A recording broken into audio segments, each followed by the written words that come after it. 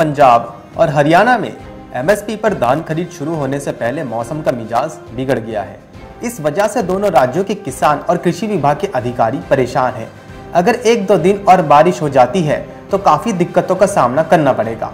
पंजाब में एक अक्टूबर से सरकारी दरों पर धान की खरीद शुरू हो जाएगी, जबकि हरियाणा सरकार ने 25 सितंबर, यानी शनिवार से ही धान खरीद शुरू करने की घोषणा की थी। लेकिन गुरुवार को हुई भारी बारिश ने परेशानी बढ़ा दी है। इससे न सिर्फ़ किसानों को दिक्कत है, बल्कि राज्य सरकार के लिए भी एक बड़ी समस्या है। बारिश के बावजूद कृषि विभागों ने नुकसान का आकलन करने और किसानों को सलाह जारी करने के लिए अपनी फ़ील्ड टीमों को रवाना किया है। कई जिलों में खेतों में जल भराव और खड़ी फ़सल के चपेट होने की सूचना मिली है। हरियाणा के मुख्यमंत्री मनोहर लाल खट्टर ने बारिश और जल भराव के कारण फ़सलों को हुए नुकसान का आकलन करने के लिए एक विशेष गिरदावरी का आदेश दिया है।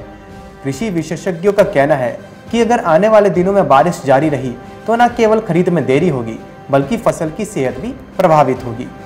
इसके अलावा, अनाज सिकुड़ने, काला पड़ने और रंग बदलने की चपेट में आ जाएगा।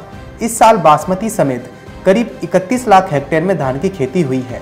पंजाब के कृषि आयुक्त ने कहा है कि यह चिंता का विषय है, लेकिन आपात स्थिति जैसी कोई स्थिति नहीं है। हम जमीनी स्थिति को देख रहे हैं जिला कृषि अधिकारियों को फ़ील्ड में बने रहने के लिए भी कहा गया है। इस खरीफ सीज़न में मौसम की स्थिति, फ़सल की वृद्धि के लिए एकदम सही रही, लेकिन आने वाले दिनों में और बारिश से खरीद प्रभावित होगी। मौसम विभाग ने आने वाले दिनों में और बारिश की चेतावनी जारी की है। हरियाणा कृषि विभाग करनाल के उप निदेशक ने कहा है कि इस स्तर पर बारिश धान के लिए हानिकारक है, क्योंकि इससे खड़ी फ़सल में व्हाइट प्लांट हॉपर कीट का हमला हो सकता है।